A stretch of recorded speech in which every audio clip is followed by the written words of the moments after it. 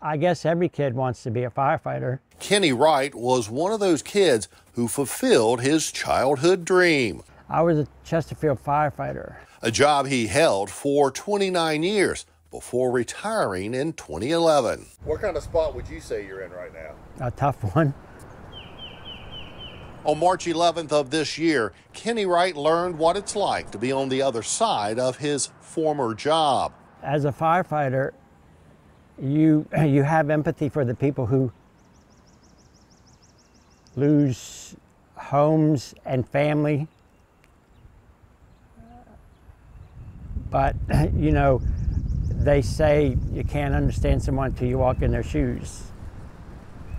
So it's definitely different to be in that position.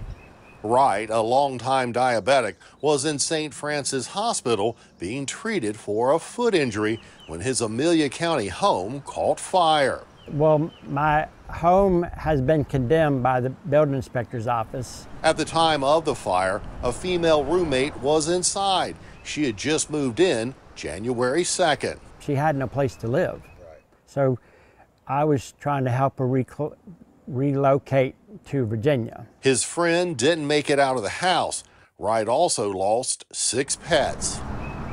Wright has been in a rehab facility since getting out of the hospital. Every day I go in and do some type of work with my legs, and they have something they put over the injur- injury site to help heal inside my foot. But when it's time to leave, he has no place to go.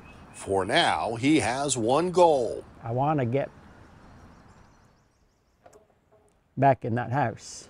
On a fixed income and with no idea if insurance will help him, the former firefighter now feeling in limbo. Wright tells me he has tried to find a place to stay. I've been calling apartments in the area to just get on a waiting list as a temporary solution. A couple of friends who are former firefighters are trying to help Wright find a place to stay. But on the budget he has, it is indeed a tight spot for a first responder who is used to helping and not being the one needing help. Wayne Covil, CBS 6 News.